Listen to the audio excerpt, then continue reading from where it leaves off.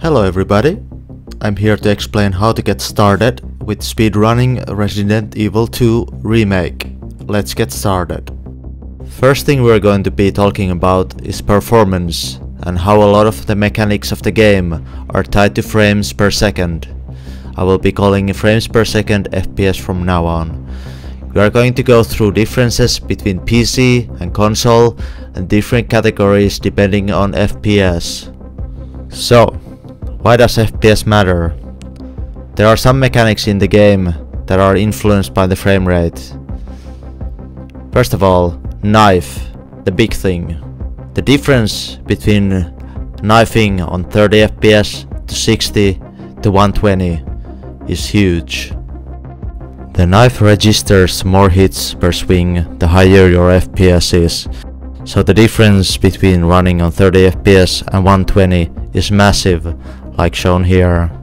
So depending on your console or your PC, you'll be running somewhere between 30 and 120 FPS. 2. The menu speed and responsiveness.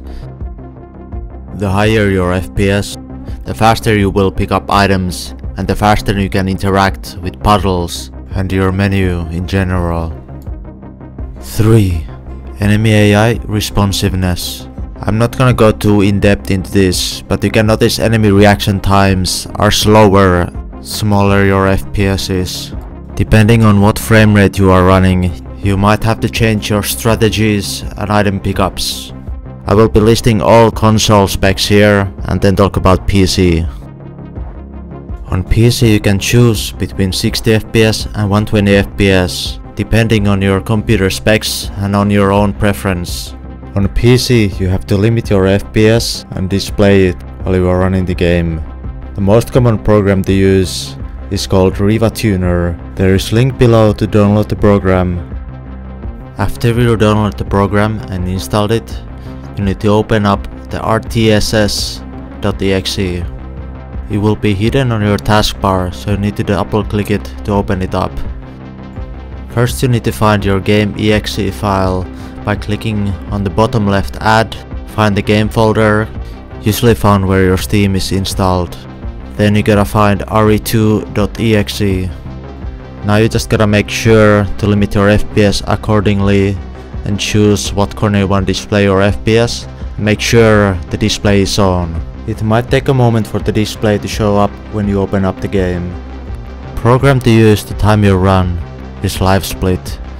There will be download link below and I will post a link to a video how to set it up. To keep track of your live splits, you need to have it on second monitor or you need to play the game on windowed mode, which is not suggested because it causes a lot of performance issues.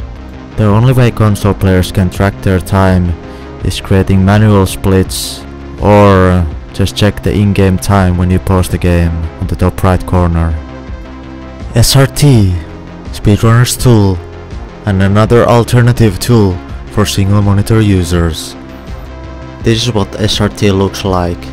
It'll display you a lot of information and this also needs to be on the second monitor. So it'll display your health here, the in-game time, it will also display DA rank and DA score.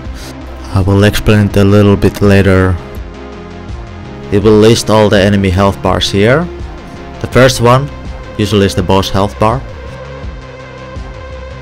it also displays inventory on the right. And if you right click on the SRT, you can change some settings if you don't want to display inventory for example. Good thing about running on PC, you can adjust your graphic settings depending on what category you want to run on. You might need to sacrifice some graphical fidelity to gain some more frames per second. I will go through quickly the PC settings to help you get up the right settings. Run the game on DirectX 11, it's the most stable version of the game. Running the game on full screen gives you the most performance. Alternatively, you can run it on borderless windowed. You can try changing your resolution to gain some frames. Either run it on 1080p or 720p as shown. Image quality is another thing can change to gain huge performance boost. You are allowed to change graphic settings for boss fights if you need to gain some FPS for knifing bosses. Set frame rate to variable. Riva Tuner is the program that limits our FPS so we don't need to use the in-game one at all. VSync always off. Rest of the settings are up to your own preference and your own PC specs. Big things that hurt performance is shadow quality and volumetric lighting, so those are usually what you wanna turn off or set to low. Turning off the real-time binaural from audio settings can also give a little performance boost. SRT and live split also eat your performance, so just keep that in mind.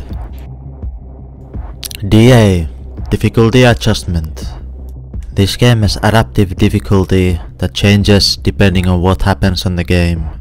Picking up items and damaging enemies or killing them will raise your DA rank. Every time you take damage or die, you lower your DA. When we speedrun this game, we wanna get as little item pickups as we can while still being able to finish the game. Also we wanna avoid killing any enemies at any cost, because it will make all boss fights take longer if your DA gets higher. On hardcore difficulty though, your DA will always be at rank 9, so it doesn't matter if you pick up items.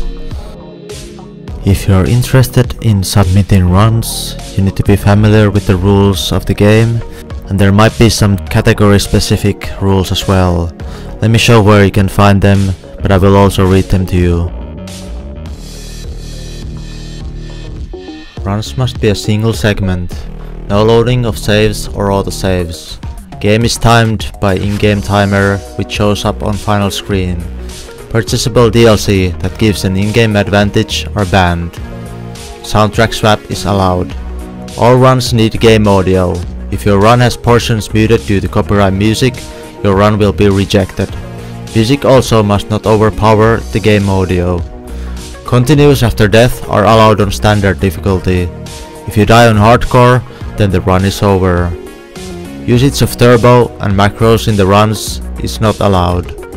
Some missions must contain all footage of the run provided. Any missing footage, not counting cutscenes, could result in run being rejected. Extended periods of time spent in pause screen will also invalidate the run Limit 2 minutes per pause. Mods, including but not limited to first person and gun give it to ya are not allowed.